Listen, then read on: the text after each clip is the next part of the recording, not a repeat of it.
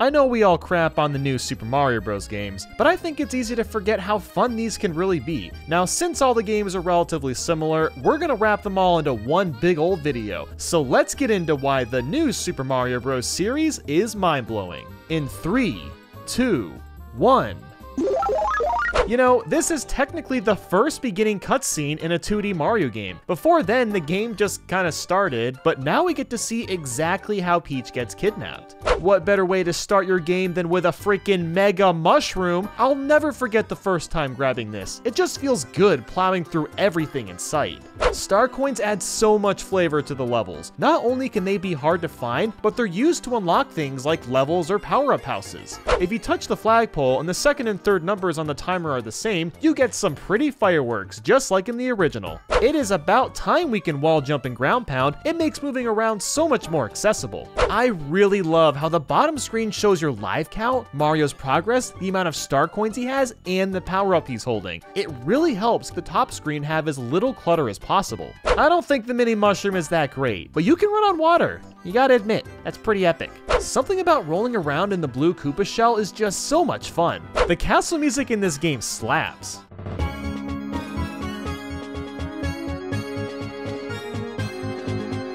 There's some really cool original bosses like Mummy Pokey, the Giant Goomba, Lakithunder, and a few others. Why is the green in this level so nice to look at? I don't know, maybe it's just me, but I think it's a good looking green, okay? There's really nothing better than sabotaging a cloud from a Lakitu. If you're bored of just regular old coins, new are the red ring coins, where you have to nab them all before the time runs out for a free power-up or one-up.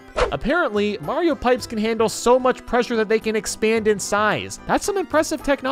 Mario must be a thick boy if every time he gets near a tree, a chunk of snow falls down. Mario stars have been improved. He does flips when he jumps. There's an entire level where you run on top of a Wiggler. That is ingenious. And speak of Wigglers, look at the little mini ones. Ah, the Mario and Luigi mode is incredibly fun. You basically fight the other player to get 10 stars first. It's too bad it's never made a comeback. On top of the main game, you also have a huge selection of mini games to play. Luigi works at a casino. This alone sold every copy of New Super Mario Bros. on the Nintendo DS. This is the first 2D Mario game to have 4-player local multiplayer. Did you know this is also the first Mario game to release in Oceania first? That's really random. Wonder why Nintendo chose to do that. You can't go wrong with the propeller mushroom. It's so broken, yet so great at the same time. Yoshi makes his triumphant return from Super Mario World, and he's got the good old flutter kick. While I never personally use the super guides, the hint movies can be quite the spectacle to watch. Swimming through water balls is my favorite pastime. I like how the mushroom houses are actual mini games and not just hitting a block.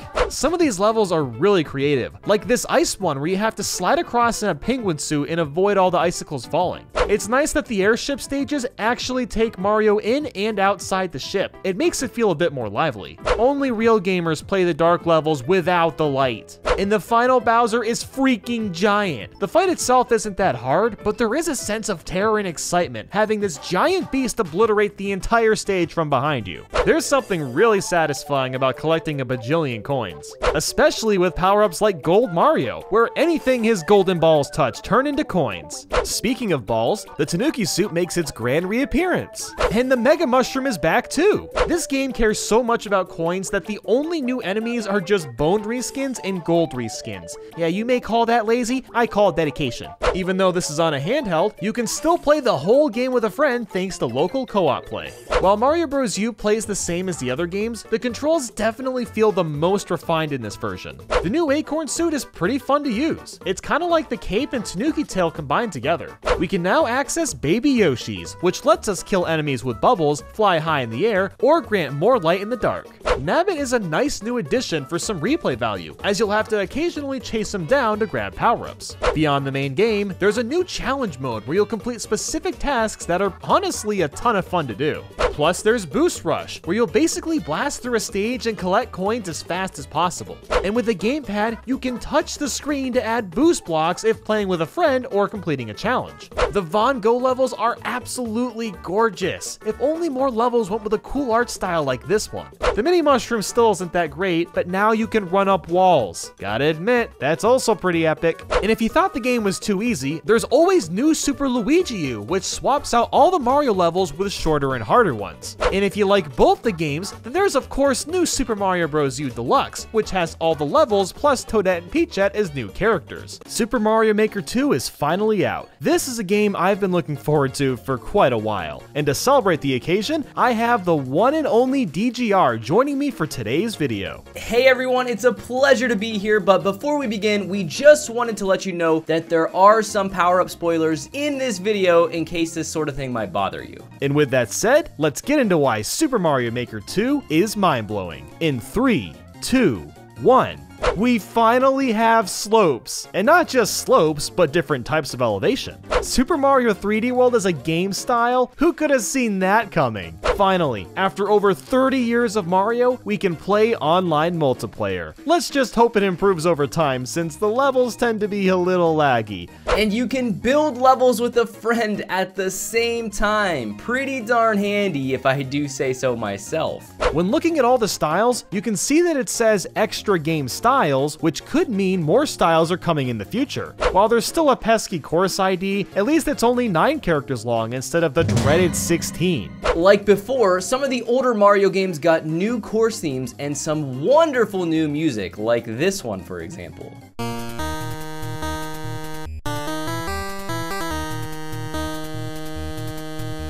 Instead of just plain old water levels, you can now adjust when the waves come in as well as the speed of them. And the same goes for the lava and poison. Speaking of poison, the poison mushroom is actually back, and it's even more intimidating. This thing will magically climb up walls and chase you down. And there's the new super hammer, which lets you whack a hammer around and even create boxes out of thin air. Oh, I like the sound of that. Swanky box? Control yourself, please. You're not in this clap. Sorry. The snake blocks are some of the most interesting elements in Mario games since you never know which direction they'll move. Oh man, the on and off switch is gonna make for some extremely creative puzzle levels, and I can't wait to tackle them. I love how the swinging claws change facial expressions depending on whether you're on them or not. As much as auto-scrollers can be annoying, it's really neat that you can change the direction as well as the speed of them now. And we finally have true vertical levels! There's so many more stage opportunities now. The dry bone shell is such a cool new item, the fact that you can float across lava or poison is pretty crazy. Clear conditions just made Mario levels a thousand times more interesting. Sure, we still have to get to the end, but having to do things like defeat a certain amount of enemies or collecting so many coins makes levels feel way more layered. Not only is Yoshi back, but now you can play the red ones and spew some hot fire, just like in the OG title. Boom Boom is a mad lad. If you don't believe me, well, Nintendo said so. Watch out for Boom Boom. The mad lad will chase after you, swinging his arms and legs. See? I told you. On top of all the new assets you can build with, there's a more in-depth story mode with over a hundred brand new levels. There's also a night mode for every theme, which changes how the courses work, like flipping the gravity or even giving you a moon jump. Even though Miiverse is gone, you can still leave written comments or even a fun stamp that just says, nice! The Thwomps in Mario Bros. 3 have new sprites when attacking, and it's really nice seeing all these smaller details added in. Small characters in Mario Bros. 1 can now crouch, which was never possible until now. The new Super Mario Bros. backgrounds look way more lively than they ever did in the previous titles. You can play Mario Galaxy music if you want, that's awesome, as well as some tunes from Mario 64 and Mario Sunshine.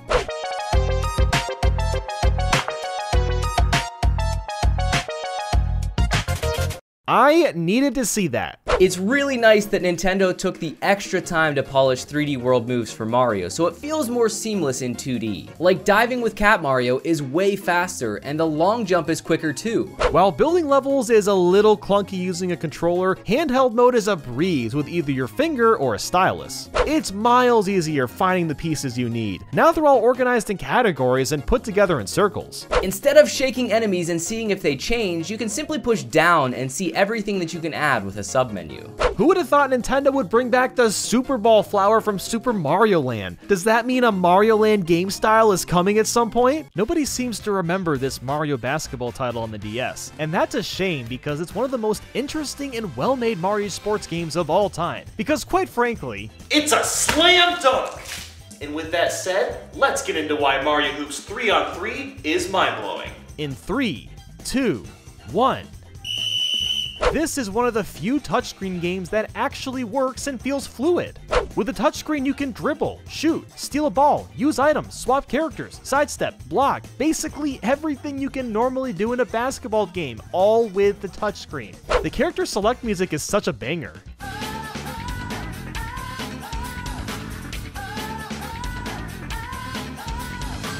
And how do you select a character? Uh, yeah, that's right. You dunk them into a net. That is epic. The special moves in this game are really cool and unique to each character. Like Waluigi just swims through the air like a god followed by a hard dunk. I love how Wario humps the air after scoring a shot. Bowser Jr.'s special has to be the best because he uses the paintbrush from Mario's Sunshine and whacks it into the net. That is freaking sick. Can we just talk about this character roster? We've got most of the best Mario characters on top of freaking Final Fantasy characters like Ninja, White Mage, Cactuar, Moogle, and Black Mage. I love how everyone's just head bopping to the music and then Cactuar is all just like and some characters even have costumes. Like Peach and Daisy can change from shorts to a skirt, and Ninja has different outfits. Plus, there's unlockable balls. Like you can use a watermelon, Cheep Cheep, Goomba, and even a dice. That doesn't even make sense, but who cares? You can use a freaking dice. The fact that there's only six players at a time makes it really easy to see what you're doing on the smaller screen. Plus, it just feels less cluttered. The item system is so smart. When you have the ball, the question marks can give you coins, but if you don't, then it gives you a random item. And it's basically all Mario Kart items, which just makes this game more fun and frantic in general. The tourney mode is a good way to test your skills, and it actually gets a bit hard around the end of it. I really love the art used for each character. It's got a nice, clean, cartoony style. The dribble race is a nice side game where you have to grab 100 coins as fast as possible while green trails try to zuck you up. The exhibition mode has a lot of customization for each match, which is definitely appreciated. And all the courts are extremely interesting as they all look really nice and have their own obstacles and gimmicks. Like in Peach Field, there's Cheep Cheeps that just decide to flop around and make things harder. And the net for Daisy Garden is literally a piranha plant. Yeah, you can't even slam dunk on this course. You're only allowed to make shots from afar. Bloop Cheap Sea is interesting because it's the only underwater court and they make everything more floaty, which adds some variety compared to the other courts. Are these Mario and Luigi surfboards foreshadowing something? Hmm? Ground pounding should probably be banned, but I'm not complaining. It's pretty cool. I don't know why, but I like making Bowser Jr. dribble side to side so he has to constantly hop around. It looks kind of funny. And on top of all that, you could even play this game with friends through local play. Mario Kart on big TV, Mario Kart on handheld, Mario Kart on the phone. Ew. But nobody ever seems to remember Mario Kart Arcade. Yes, you have to leave your home and earn those silver dollars to play this hotshot. So here is why Mario Kart Arcade GP is mind-blowing. In three, two, one. You can play as Pac-Man, Ms. Pac-Man, and Blinky. You don't see that every day. There's a whopping 93 items. While you can't use them all at the same time, the sheer variety of items is really great. And all the characters have special items, which is a nice throwback feature from Double Dash. Some of this music really slaps and nobody talks about it. I mean, those Mario Cup tunes are some hot jams.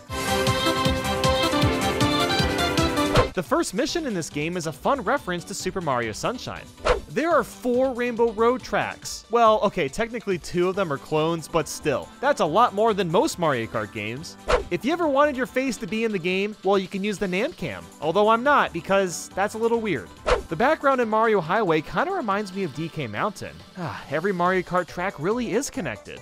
And look at this, Daisy Cruiser is also just chilling in the background. The Double Dash vibes are off the charts. Mario and Luigi heads are engraved into the freaking mountain because they're just that legendary. Having so many clone tracks kinda sucks, but Mario Highway Sunset does at least look really nice. You simply can't hate a game where you can throw a steering wheel. This jungle really is so lush and pretty. As wrong as this sounds, I kind of enjoy smashing these Koopas senseless. And don't you dare sue me, PETA! They're fake, they're not real. We've got a track where we can see Donkey Kong's ancient ruins. Yeah, that's right, Dong lore. What more could you want? It includes a banana with a mustache. Why don't we see more of this fine looking specimen? There really should be whacking items in regular Mario Kart. They're so satisfying to use. I don't really like cities, but I would definitely live in this one if I could. Backwards missions? Ooh, you know I'm all about that life. Finally, I can throw a delicious pie at someone without feeling bad. Not even Mario Kart DS had a jump rope mission like this one. Also, Pac-Man Maze the track. Oh my god. Yes, please. That's right. There's a goddamn boss fight against Bowser himself, the king of the coops. It's really easy, but it's still pretty cool. If there's one good thing about Bowser's Castle, at least he has lots of pictures of his son Bowser Jr., so he cares a little bit, right? I really like these little jump ramps because they let you take faster routes, but also making that jump has a risk of failing. It's a fun little dynamic. Also, Rainbow Coaster is like Sky Garden and Rainbow Road having a baby. I adore it. An undersea themed Rainbow Road is something I didn't realize I needed. Well, there you have it, guys. I'm actually on my way to play some Mario Kart Arcade myself, so if you'll just excuse me. I hope you enjoyed this video, and I hope you also have a great day. So that's about it. See you guys.